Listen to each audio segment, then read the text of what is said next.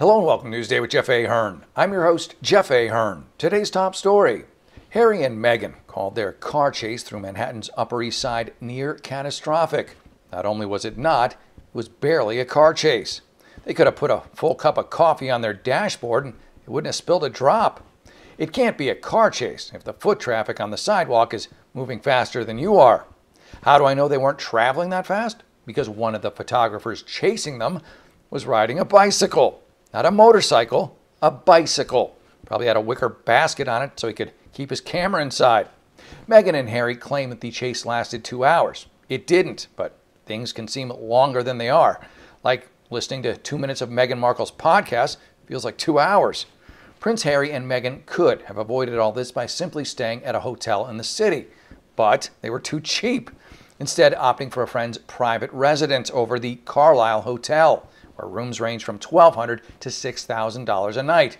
And I don't think there's a AAA discount. The self entitled duo demanded the deep discount, which the hotel refused. Guess the $100 million Netflix deal aside, the Sussexes must really be struggling. Who knew they were such cheapskates? At least Meghan Markle has a new royal title, Princess Punch Card. And as we speak, she's only one sandwich away from a free six inch sub. Good call on the Carlyle's part. It's better to publicly turn these people away than to let them in. But back to the chase that wasn't, which ended at a police station where the couple ditched their protected SUV and jumped into a yellow cab. I guess the punch card princess had rented the limo by the hour instead of for the entire night and didn't want to go over on the time. Harry and Meghan have demanded that the pictures paparazzi took be handed over to them because they are royals. Well, that only works in England. Plus, you two are not really royals anymore. On the royal website, alleged pedophile Prince Andrew is the only one below you.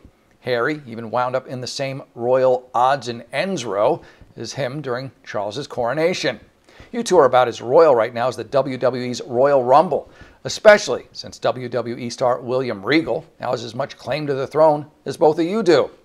And as to making parallels at the chase that killed Diana, that is beyond distasteful. First, hers was an actual chase. Yours was the movie Speed if the bus were only allowed to travel under five miles an hour.